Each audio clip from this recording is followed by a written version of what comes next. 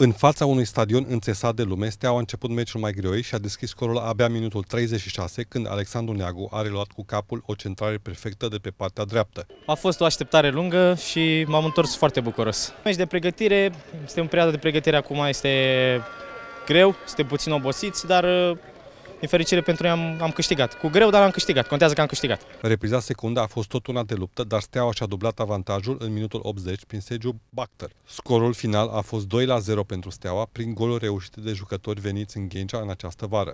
A fost un meci greu, un meci de pregătire. Am venit după o săptămână foarte grea, plină cu alergări, stadiu de, de cantonament.